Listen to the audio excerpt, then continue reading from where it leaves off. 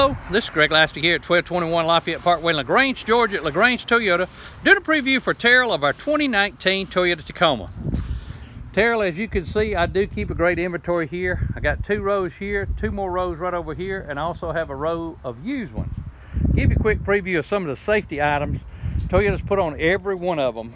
There's a Toyota Safety Sense, which is part of a camera mounted behind the rearview mirror that does lane departure, pre-collision and pedestrian detection. Now here behind the Toyota emblem on all of them is a millimeter wave radar unit that works the dynamic radar cruise control.